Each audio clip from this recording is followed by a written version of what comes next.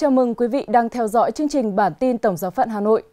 Bản tin tổng hợp từ ngày 8 tháng 1 đến ngày 14 tháng 1 năm 2023 sẽ có những nội dung đáng chú ý như sau. Đức Tổng giám mục Du Xe thăm một vụ và làm phép ba công trình tại giáo xứ Ngọc Lũ. Thánh lễ và nghi thức trao áo giáo sĩ cho 39 chủng sinh lớp tu Đức khóa 28. Giáo sứ Thụy Phương gói chọn yêu thương trong 4.000 chiếc bánh trưng Tết.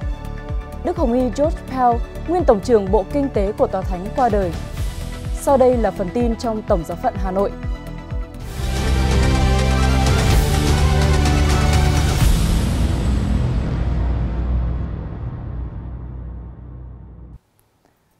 Mười năm trở lại đây, giáo sứ Ngọc Lũ đã được thay ra đổi thịt cả về cơ sở vật chất lẫn đời sống đức tin. Đó là nhìn nhận của Đức Tổng giám mục Du Xe Vũ Văn Thiên khi lần đầu tiên ngày về dâng thánh lễ tại giáo sứ để làm phép ba công trình là nhà thờ, nhà mục vụ và nhà giáo lý. Thánh lễ được cử hành 9 giờ 30 sáng Chủ nhật ngày 8 tháng 1 năm 2023 do Đức Tổng giám mục Du Xe chủ sự. Được biết, Giáo sứ Ngọc Lũ đã bắt đầu khởi công xây dựng nhà thờ từ ngày 9 tháng 12 năm 2012. Sau 3 năm, ngôi nhà thờ mang đậm lối kiến trúc Á Đông được hoàn thành.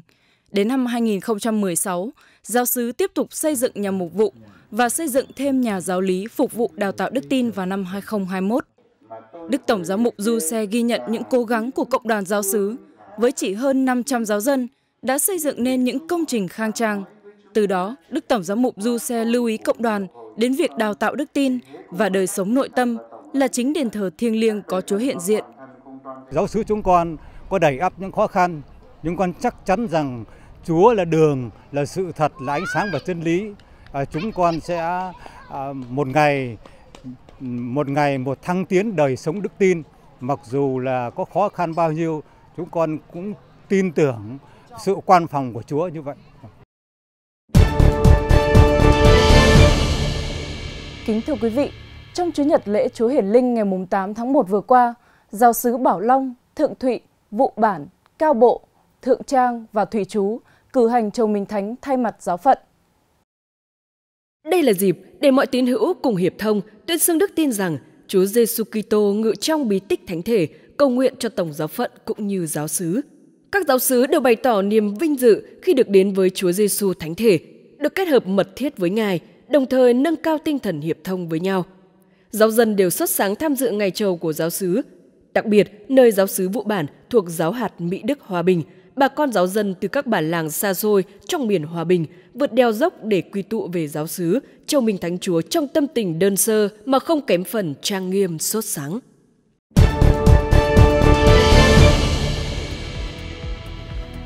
Cũng trong sáng Chủ nhật ngày 8 tháng 1 năm 2023, các em thiếu nhi sứ đoàn Martino Thịnh giáo sứ Lưu Xá tham dự nghi thức thăng cấp đoàn sinh và tuyên hứa ban điều hành sứ đoàn nhiệm kỳ 2023-2025. Sau những tháng ngày cầu nguyện, suy nghĩ và tu tập, anh em lớp tu đức khóa 28 của Đại chủng viện Thánh Du Xe Hà Nội vui mừng được khoác lên mình chiếc áo trùng thâm sau bao chờ đợi, mong ước. Đây là một bước tiến một dấu ấn quan trọng trong hành trình bước theo Đức Kitô trên con đường dâng hiến.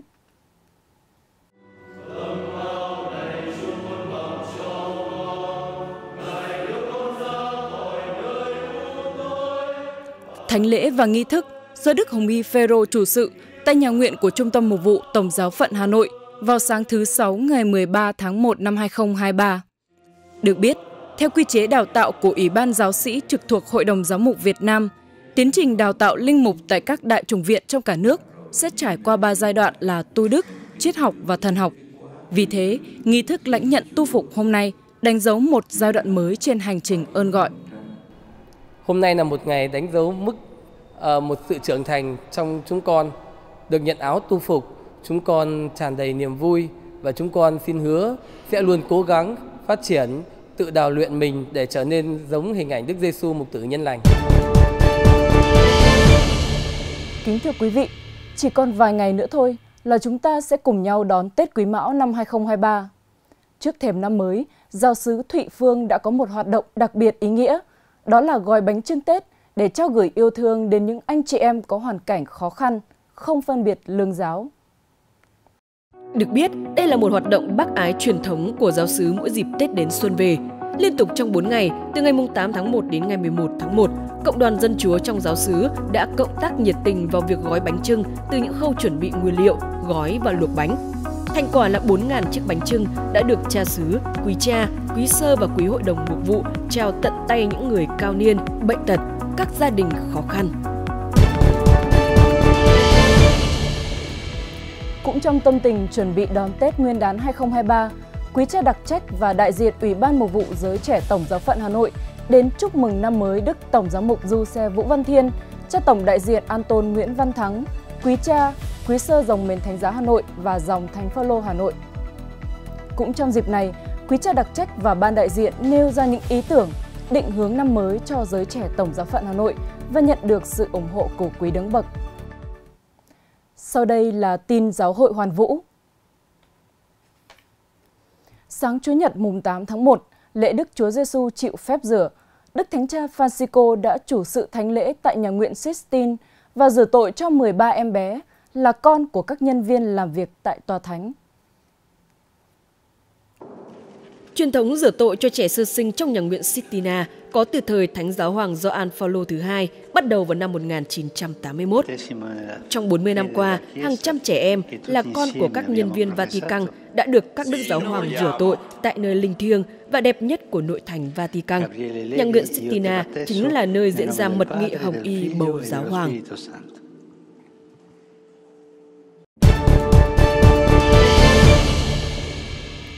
Theo thông tin từ Vatican News, Đức Hồng Y George Pell, nguyên Tổng giám mục giáo phận Sydney của Úc, cũng là nguyên Bộ trưởng Bộ Kinh tế của Tòa Thánh, đã qua đời cách đột ngột hôm 10 tháng 1 năm 2023 tại Roma, ngày hưởng thọ 81 tuổi. Được biết, Đức Hồng Y qua đời sau một số biến chứng về tim phát sinh sau một ca phẫu thuật. Sau khi hay tin, Đức Thánh Cha Francisco đã gửi một bức điện tới Đức Hồng Y Giovanni Battistare, trưởng Hồng Y đoàn, để chia buồn đến các đức cha và gia đình của Đức Cố Hồng Y. Đức Thánh Cha Francisco nhắc lại chứng tá trung thành của Đức Cố Hồng Y Jacques Chapelle, sự công hiến của Ngài cho tin mừng và giáo hội, và đặc biệt là sự cộng tác của Ngài với Tòa Thánh trong cuộc cải cách kinh tế gần đây. Các đức giám mục tại Úc, quê hương của Đức Hồng Y Pell, cũng bày tỏ lòng kính trọng đối với Đức Hồng Y Jacques Chapelle, tưởng nhớ những đóng góp của Ngài cho giáo hội Công giáo Úc.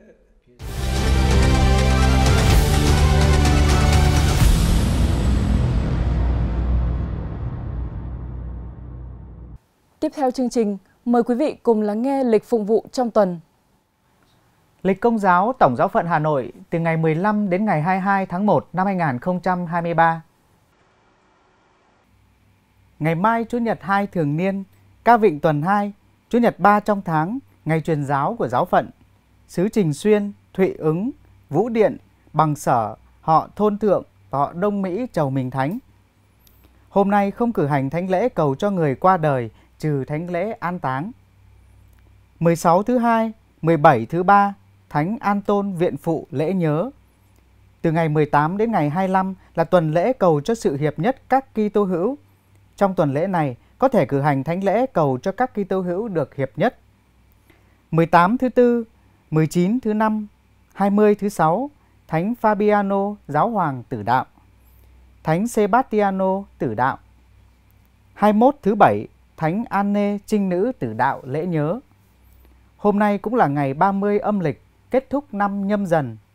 Ban sáng cử hành thánh lễ Anne Trinh Nữ Tử Đạo lễ nhớ. Chiều tối cử hành thánh lễ tất niên theo bản văn của lễ này. 22 Chủ nhật 3 thường niên, ca vịnh tuần 3, Sư Vĩnh Đà Chầu Mình Thánh. Chủ nhật lời Chúa do Đức Thánh Cha Francisco thiết lập ngày 30 tháng 9 năm 2019 Hôm nay cử hành rước sách tin mừng một cách trọng thể. Khi tới cung thánh, sách tin mừng được đặt trang trọng trên bàn thờ. Khởi đầu thánh lễ, xin quý cha nói về việc Đức Thánh Cha Francisco thiết lập Chúa Nhật lời Chúa và trong bài giảng, xin quý cha nói thêm về mối liên hệ giữa lời Chúa với phụng vụ và với cộng đoàn tín hữu. Hơn nữa, có thể thêm một ý cầu nguyện trong lời nguyện tín hữu về lời Chúa. Ngày mùng 1 Tết Nguyên đán Quý Mão cầu bình an cho năm mới. Hôm nay lần hạt 50, đọc kinh thờ lạy, kính Đức Chúa Trời ba ngôi, cầu cho các tín hữu vững lòng tin đạo và tránh xa các điều lỗi đức tin. Thánh Matthew Alonso Leciniana đậu, tử đạo năm 1745 và Thánh Francisco Ginder tế, linh mục tử đạo năm 1745. Hôm nay cử hành thánh lễ và các giờ kinh phụng vụ Chủ nhật ba thường niên với ý cầu nguyện xin Chúa ban bình an cho năm mới. Ý nguyện này có thể đưa vào bài giảng và lời nguyện tín hữu. Không cử hành thánh lễ Vicente phó tế tử đạo và không cử hành thánh lễ cầu cho người qua đời, trừ thánh lễ an táng.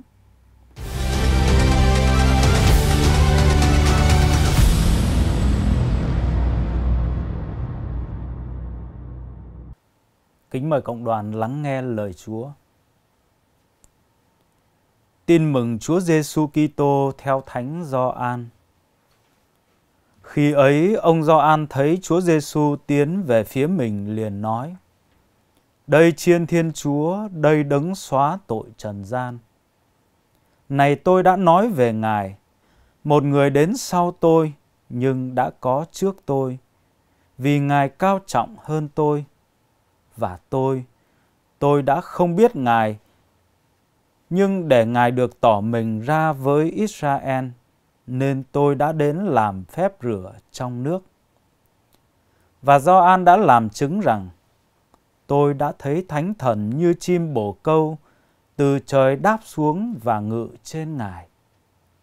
Về phần tôi, tôi đã không biết Ngài, nhưng đấng sai tôi làm phép rửa trong nước phán bảo tôi người thấy thánh thần ngự xuống trên ai thì đó chính là đấng làm phép rửa trong chúa thánh thần. Tôi đã thấy và tôi làm chứng, chính ngài là con thiên chúa. Đó là lời chúa. Bản văn tin mừng do an được trích đọc trong thánh lễ chúa nhật hôm nay là một bài giới thiệu hoàn hảo của Do An Tẩy Giả về Chúa Giêsu. Bài giới thiệu này thật giá trị vì nó cung cấp cho các tín hữu của cộng đoàn Gioan một cái nhìn đầy đủ về Chúa Giêsu. Đức Giêsu được giới thiệu như chiên Thiên Chúa, đấng xóa bỏ tội trần gian. Hình ảnh này làm chúng ta nhớ lại hình ảnh con chiên chịu sát tế được nhắc tới trong sách xuất hành trước khi vượt qua biển đỏ để tiến về đất hứa mỗi gia đình người do thái được lệnh giết một con chiên.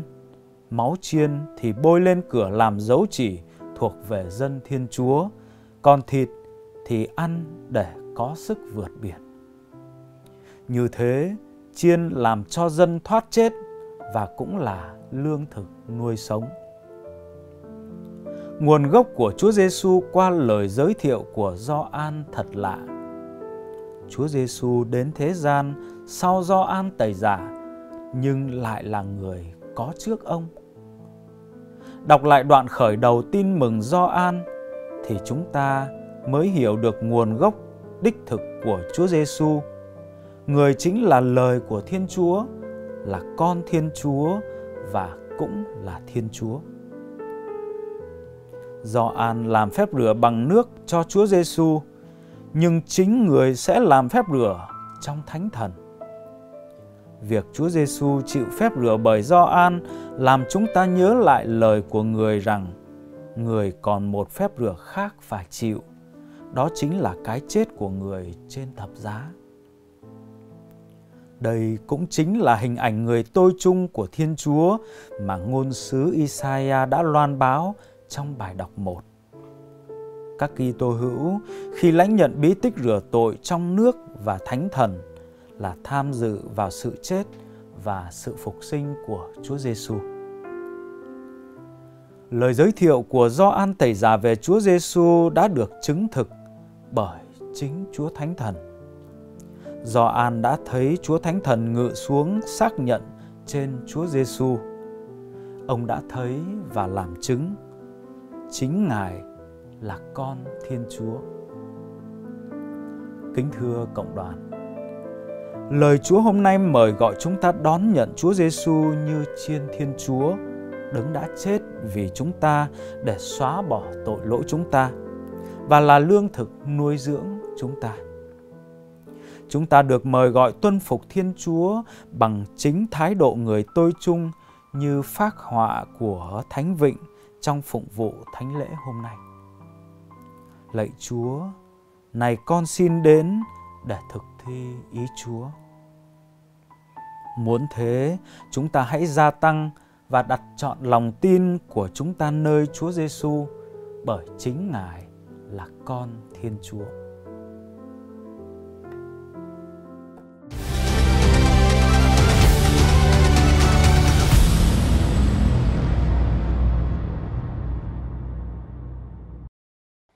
mục Lời Chúa và gợi ý suy niệm vừa rồi đã khép lại chương trình bản tin Tổng giáo phận Hà Nội. Cảm ơn quý vị đã quan tâm theo dõi. Xin kính chào tạm biệt và hẹn gặp lại.